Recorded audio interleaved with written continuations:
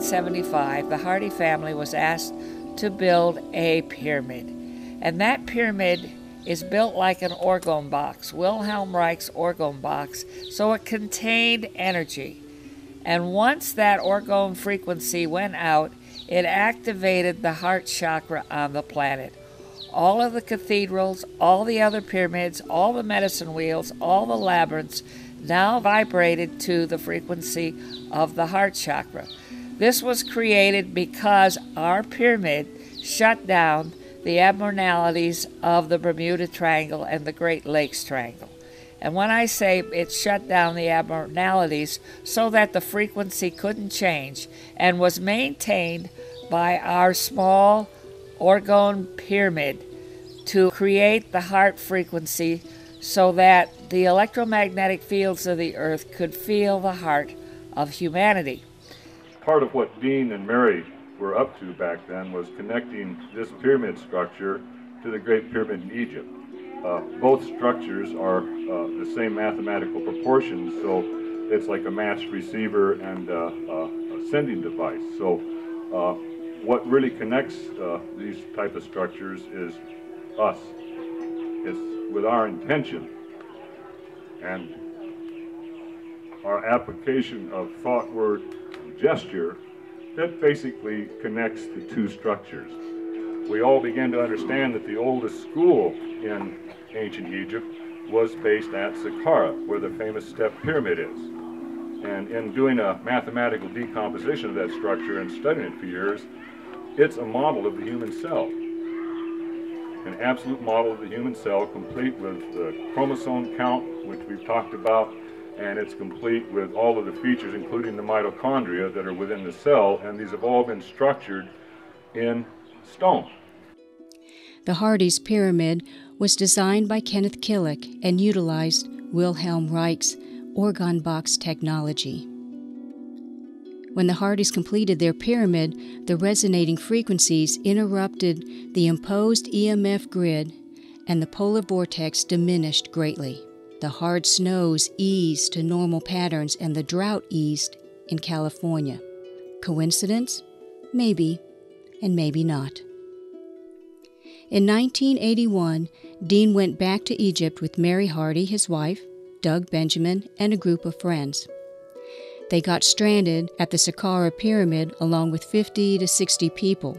While waiting for transportation, Doug Benjamin levitated and started repeating the phrase, Mother Earth is dying! Mother Earth is dying! At that time, Mary, Dean, Doug, and a few others decided to create a teaching temple back at home to train people to be grid keepers and heal the earth.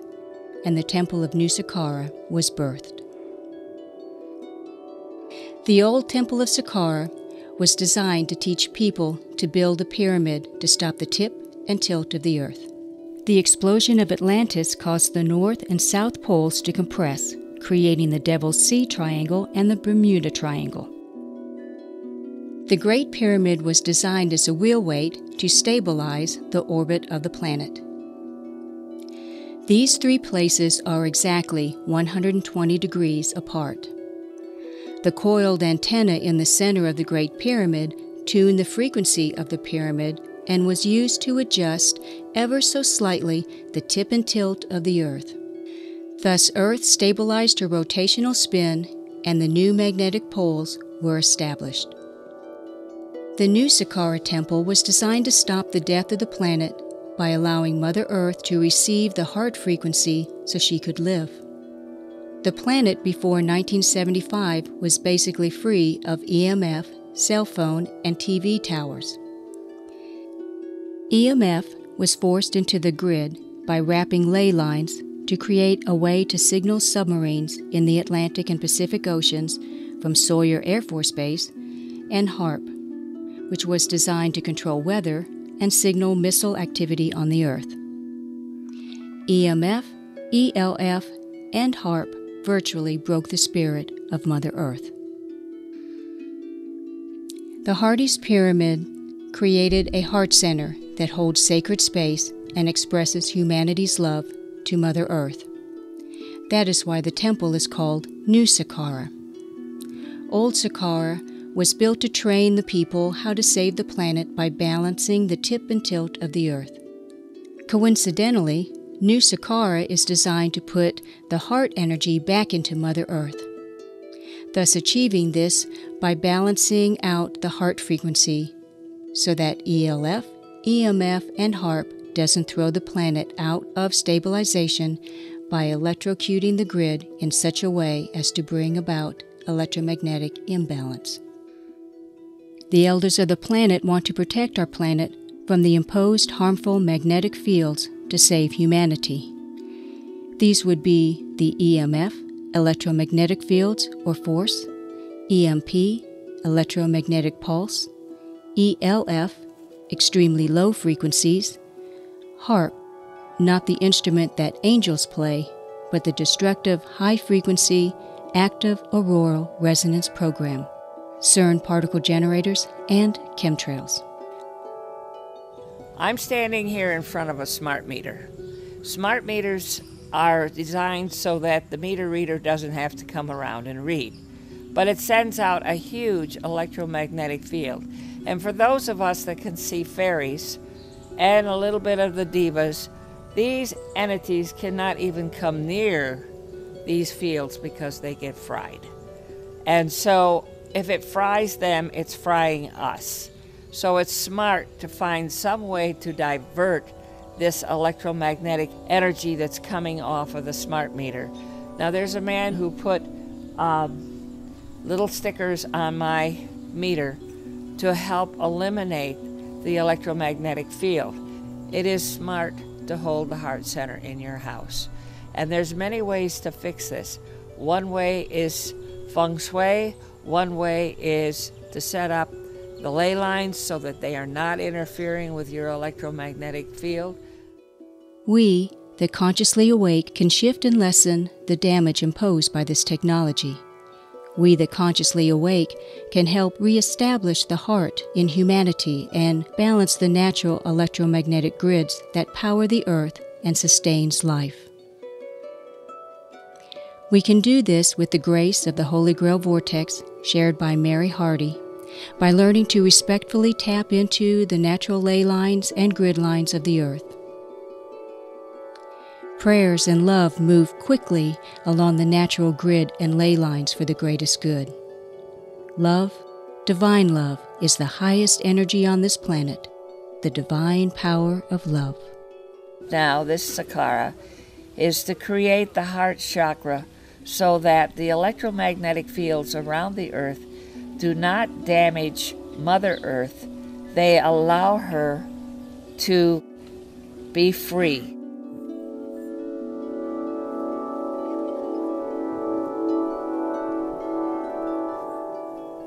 We can build medicine wheels and labyrinths on our land, erect totem poles, pyramids, and simply create sacred space to help counteract the harmful effects of the electromagnetic technologies and natural imbalances. Labyrinths and medicine wheels create a tachyon field that will naturally balance energy patterns and create doorways into higher dimensional realms. You can dowse to determine the best location to place your labyrinth, medicine wheel, or totem.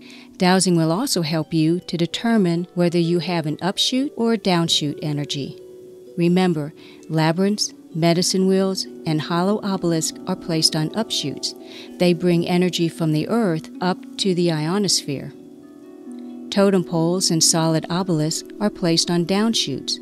They pull energy from the ionosphere down to the earth. We can ask assistance from the etheric Templar Knights and the elders of the planet to guide us.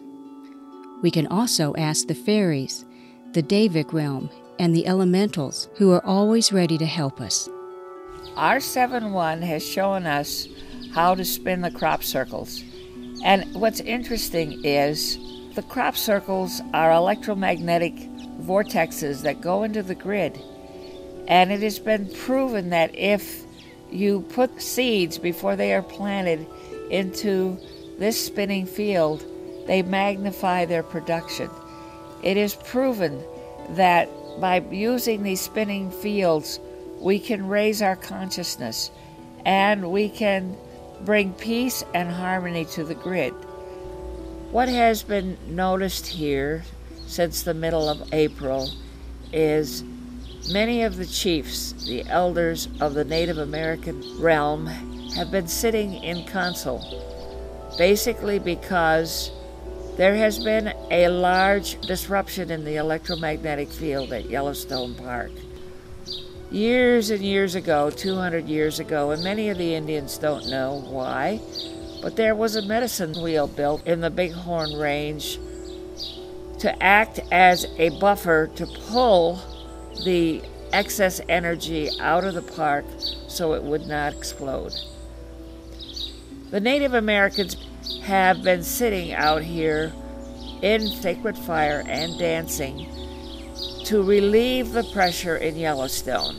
As they dance, they take the energy out of the medicine wheel. The medicine wheels are always placed on upshoots. So, as the energy is building up under Yellowstone, that offers like a stovepipe or a vent. Now we have an obelisk here, and that obelisk pulls that energy over to the ground, and as it comes back up through the sacred fire and the medicine wheels that many of the people of Saqqara have built, and you have seen some of them, these medicine wheels are actually pulling that frequency or that disturbance from Yellowstone. Why the Native Americans are here is because this is sacred Native American grounds. Before we even built the pyramid, there was one of my husband's guides called Standing Bear, and he protected us all the time that we were working on the pyramid. It's time that humanity realized without creating a whole lot, they can put up a medicine wheel, they can build a labyrinth, they can spin a simple crop circle in their head or put it on a piece of paper and do the Holy Grail vortex over it. If we do not start using this wisdom of vortexes and balancing the heart chakra, the planet is going to shake itself out of orbit.